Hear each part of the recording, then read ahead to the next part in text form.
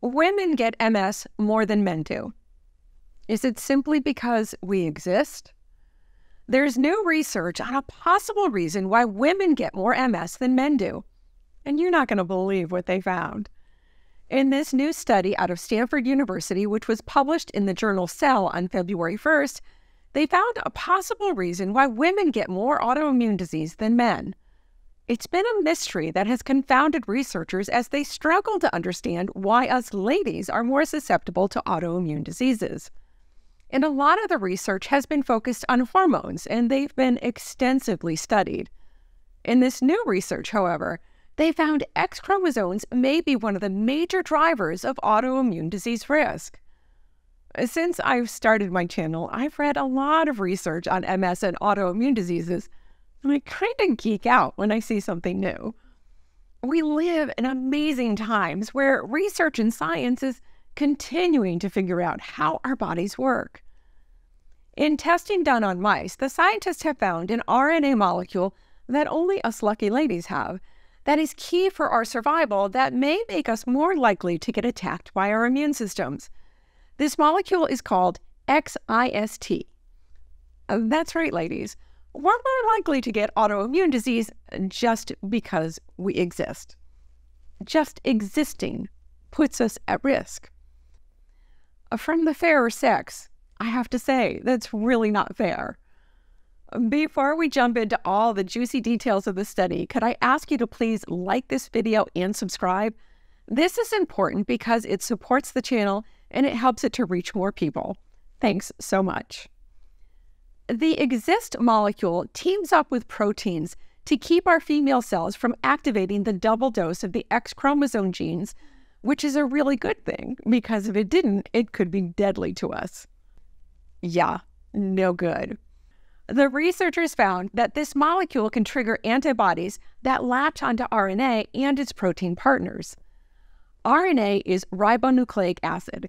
It's similar to DNA, but it tends to be a single strand instead of a double strand like DNA. It can be just as important as DNA, or even more important because it can carry messages. You may have heard about mRNA in recent years in the news as we've been dealing with this um, big, scary virus. It is still early days in the testing, and the testing has only been done on mice, but they did take a look at blood samples from healthy adults and those with autoimmune disease and found that those with autoimmune disease were more likely to have antibodies that recognize the Xist protein complexes. The lead author is quoted as saying, this is like a completely different and novel explanation for female bias in immune diseases. What our study really showed was it's not just the second X chromosome, it's actually a very special RNA that comes from that second X chromosome, and just that RNA perhaps plays a major role. This is very cool because it seems like they're zeroing in on something very specific, and it could lead to better ways to diagnose autoimmune diseases and possibly monitor whether or not our treatments are working. Women are three times more likely to develop MS than men, but it's not the only autoimmune disease that has a sex bias. As a group, in those with autoimmune diseases, four out of every five patients are female. In some cases, the imbalance is even more lopsided. 90% of lupus patients and 95% of those with Sjogren's syndrome are female and women have been more likely to develop long COVID, which experts say mimics aspects of autoimmune disorders. Okay, girls, this is one area where we really don't want to excel.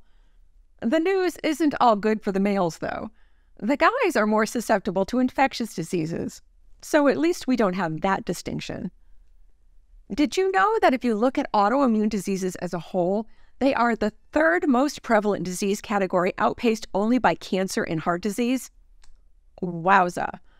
So they're concluding that the findings indicated that the Xist ribonucleoprotein complex selectively expressed in females and involved in X chromosome dosage compensation drives sex biased autoimmunity.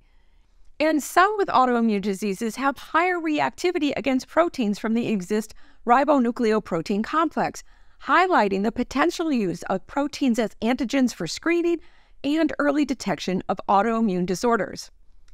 This means that they may develop a better test to definitively say whether we have autoimmune disease. Wouldn't it be cool if there was a definitive test? Yes, please. Okay, so this leads me on to something that I feel is a real problem in a lot of research. Much research is being done on males, including using male lice in the lab.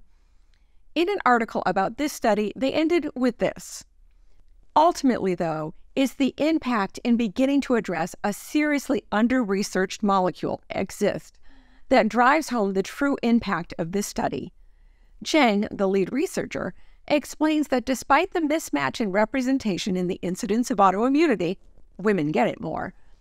For several decades, we've used a male cell line as the standard of reference. The male cell line produced no Xist and no Xist protein DNA complexes, nor have other cells used since for this test. So, all of the female's anti Xist complex antibodies, a huge source of women's autoimmune susceptibility, goes unseen.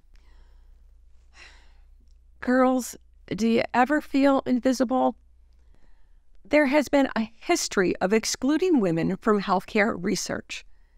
Women make up 50% of the global population, yet women are still unfairly reflected in healthcare research. This has huge implications for the quality of care and can have life or death consequences. As a result of women being less represented in healthcare research, there are fewer treatments available for women specific diseases. In addition, because women are unfairly represented in clinical studies, general disease treatments may be less effective for women or have high side effects. Hmm, not sounding too good for us ladies. The challenges are clinical research is male directed. Most of the research is being done by guys gender imbalance persists in peer reviewed publications and research advancement. The guys are getting their research published more than the ladies. The disparity in research funding is glaring. More funding is going to research on males, so there's less focus on development of treatments and therapies for women. Dang, it is hard to be a girl. Uh, there is good news, though. In 1993, the National Institutes of Health ruled that clinical trials must include women and determine if the treatments affect women differently. There's still a big gap, but things are getting better. I often say we live in amazing times.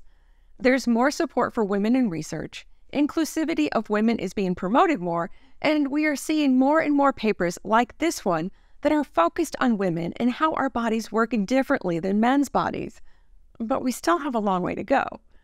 And there are things that we can do to support this too. Get involved and use your voice to help.